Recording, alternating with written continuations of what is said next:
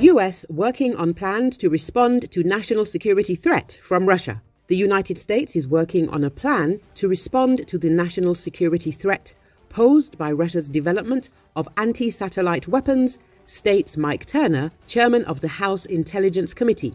We met with US National Security Advisor Jake Sullivan, and he began to lay out a plan that hopefully would begin to address the threat to US national security, Turner said on NBC News. According to Turner, this threat is very serious, but he could neither confirm nor deny that it is related to Russia's intentions to launch nuclear weapons into space, as previously reported by the US media.